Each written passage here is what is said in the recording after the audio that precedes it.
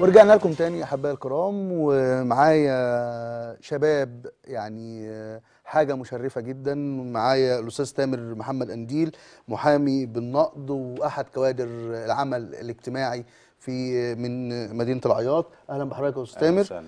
ومعايا الأستاذ علي مختار مدرس ورئيس قسم وأحد كوادر الشباب العاملة في العمل الاجتماعي في مدينة العياط. أهلا بحضرتك يا أستاذ علي منورنا فندم. النهارده. نورك يا فندم. الله يخليك يا أستاذ علي منورينا يا جماعة النهارده في الاستوديو والله. منور. ويعني منور عاملين حاجة جميلة وحاجة مشرفة وحاجة أنا شفتها بعينيا. آه نبدأ على طول كده يا أستاذ تامر مع حضرتك. يعني الدور اللي أنتوا عملتوه آه، في ظل أزمة كورونا في مركز ومدينة العياط ودوركم في مساعدة العمالة المؤقتة وال يعني أنا شفت حاجة مشرفة بصراحة يعني أنا شفت حاجة مشرفة وحاجة جميلة عشان كده أصريت إن أنا يعني أعرض الكلام ده للسادة المشاهدين آه عملتوا إيه يا أستاذ تامر مع مع العماله المؤقتة اللي موجودة عندنا في في والله؟ بداية أنا بحب أشكرك يا سيد على إن يا رب أنت يخليك يا الضوء على والله. زي كده الله يخليك يا فندم ده نورك اتفضل أنا بشكر أهالي العياط لأن أهالي العياط طول عمرهم في الأزمات بيقفوا هو شعب مصر كله تماما وقت الأزمة المعدن بي- بيبقى بي- إيد واحدة. يعني آه، أول ما آه. الشعب بيحس بالخطر لازم يقف إيد واحدة. إحنا في مدينة العياط طبعا أنت عارف إن في تشكيلات في تشكيلات حزبية في تشكيلات جمعيات خيرية في لجان شباب لجان شعبية. كل ال- كل الكلام دوت داب أثناء الأزمة ليصبح كيان واحد. بالنسبة للي حصل آه، في في الأزمة بتاعه كورونا إحنا طبعا بالنسبة للعمالة المؤقتة ده أول واحد تضرر من الأزمة أكيد الراهنة. آه آه أكيد. لأن طبعا الناس دي شغالة عمالة يومية وغير منتظمة ورزقهم يوم بيوم. يوم بيوم مظبوط. لما النهارده يصدر قرار من رئاسة مجلس الوزراء بإغلاق المطاعم والمقاهي والكافيهات وبعض المصالح الحكومية إغلاق لمدة 15 يوم الراجل ده قاعد في البيت النهارده طب هياكل عياله إزاي؟ إحنا هنا حسينا بالخطر لأن إحنا كشعب شعب مصر وأنا بتكلم على بلدي اللي هي مدينة العياط حسينا بالخطر بدأت الناس والشباب تطرح مبادرات كتيرة جدا على أرض الواقع عشان نحاول إن الشباب إحنا. بيتحدوا بعض كمان طبعا يعني، آه، ده في فكرة. تحدي آه. شباب العياط كان تحدي آه، جميل آه، جدا آه. في تحدي الخير كله بيتحدى بعضه في الخير تمام. في من هو معلن وفي من هو غير معلن وفي ناس بتحب تساعد في الخفاء وفي ناس ب... يعني إحنا الحمد لله رب العالمين كونا.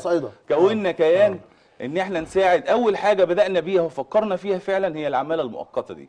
إزاي إحنا نقدر نساعد العماله المؤقتة؟ لازم طبعا عملنا حصر الأول لكل العماله المؤقتة اللي إحنا عارفينها في مدينة العياط وبدأنا نعمل كشوف بالعماله المؤقتة ودخله اليومي كان إزاي وعايش إزاي. وفي ناس منهم طبعا كانت مستأجرة بعض المنشآت وتعتبر عماله يومية في نفس الوقت.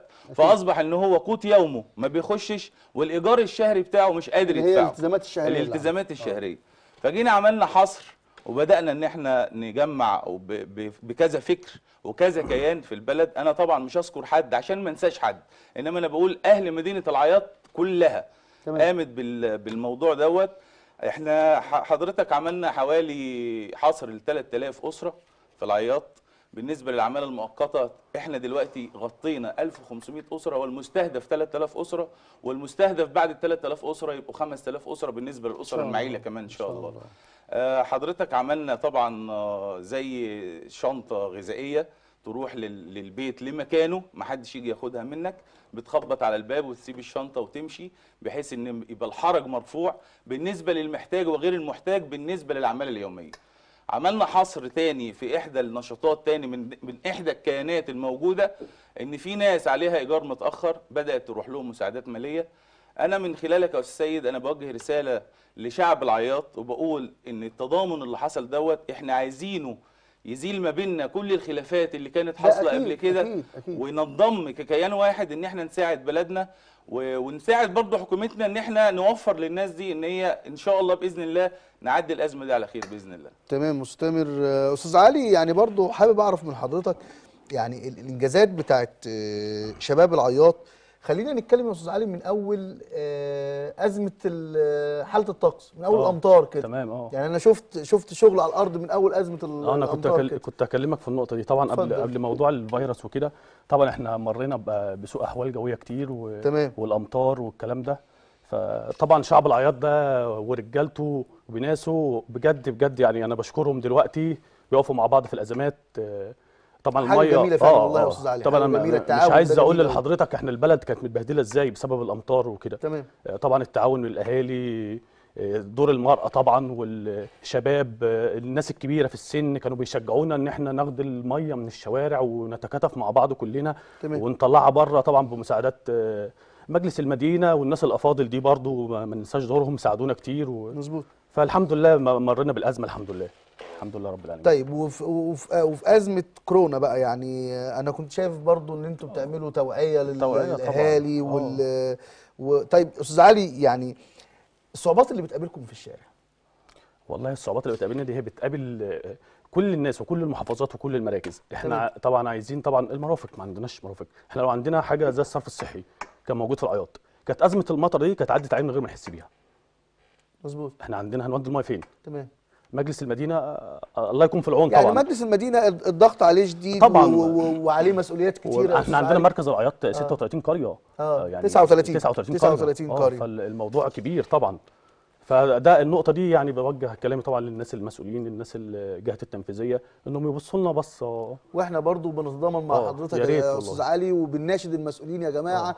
آه النظر آه. لذيل المحافظة ودايما ذيل المحافظة مه- مهمش إحنا عايزين المسؤولين ينظروا إلى مركز ومدينة العياط يعني نظرة رحمة آه. مش أكتر من كده بالظبط بالظبط طيب نتمنى. أرجع للاستاذ تامر تاني. أستاذ تامر يعني حابب أعرف من حضرتك أو يعني حضرتك وإحنا بندردش قبل الهوا قلت لي إن أنت عندك رسالة عايز توجهها للمسؤولين ورسالة عايز توجهها للشباب الكاميرا مع حضرتك يعني والله في عجالة عشان وقت. برنامجنا بالنسبة اتفضل. للرسالة اللي أنا عايز أوجهها الأول لشعب العياط اتفضل. إحنا في يعني فكرة تحدي شباب العياط في في الخير ورجال العياط في الخير إحنا ما بنقولش برضو الشباب وربنا يبارك في الشباب وربنا يبارك في الرجاله اللي هي دعمت أنتوا عاملين الشباب حاجة جميلة يا الحمد لله رب العالمين يعني. الحمد لله اتفضل. أنا ما بنسيبش الفضل لنفسي لأن أنا مش من أحد اللي يعتبر مش من أح أنا م- يعتبر إيه أقل فرد مشارك في في الموضوع ولكن الشباب بصراحة هو اللي دوره فعال جدا في القصة دي أنا هستشهد بقرية جنبينا في نفس المحافظة اسمها قرية أم خنان. القرية دي لمت في 24 ساعة 680 ألف جنيه. راحوا وعملوا كشف وحصر للعمالة المؤقتة. بعد ما يدي شنطة مثلا تكلفتها 150 200 جنيه هو بعت تكلفة الشهر 1200 جنيه لكل أسرة. أنا بدعي شباب العياط ورجال العياط وكل من هو يمتلك قدرة مالية في العياط إن إحنا نعمل زي البلد دي ويبقى رسالة نحتذي بيها في كل مدن جمهورية مصر العربية وكل قرى جمهورية مصر العربية. إحنا النهارده العياط 500 ألف نسمة. 500 ألف نسمة أنت بتتكلم في إن أنا دلوقتي أنا مغطي 1500 أسرة وبستهدف كمان 3000 أسرة؟ حاجة بسيطة بالنسبة حاجة. بسيطة جدا آه، آه، يعني. حاجة بسيطة فالنهاردة لما تكون قرية مش بحجم مركز زي العياط وتلم 680 ألف جنيه في 24 ساعة أنا بقول للعياط إحنا مش أقل من أي حد إحنا عايزين نبقى في الخير. ندعم كل المستويات وندعم كل الطوائف عشان ربنا يكرمنا في, الأزمة دي ونعدي ونحس طبعا بغيرنا سواء طبعا اللي يعني في ناس أول حاجة لازم تبدأ بجارك ولازم تبدأ باللي جنبك على أساس إن إحنا يبقى في تكافل اجتماعي على كل المستويات. إحنا في تكافل اجتماعي النهارده صدر بالجهود الذاتية وعن طريق الجمعيات وعن طريق الأحزاب وعن طريق كل الكيانات اللي موجودة. أنا قلت لك إن كله داب في كيان واحد عشان نحقق هدف معين. النهارده الهدف دوت إحنا الحمد لله رب العالمين. بالنسبة لمصر إحنا بنقول إن الأكل والشرب موجود الأمان موجود الحمد وده لله. كله طبعا لأن ربنا في الأول وفي الآخر هو راضي على شعب مصر لأن إحنا شعب طيب. وطبعا الرسالة الموجهة بقى بالنسبة لل- للقيادات بتاعتنا إحنا هنتكلم في في القيادة الداخلية بالنسبة لمركز ومدينة العياط ومحافظة الجيزة عموما. إحنا بن إحنا ناقصنا شوية دعم يا أستاذ سيد بالنسبة للمرافق وال- والأداء المساعد على تنفيذ هذه المرافق.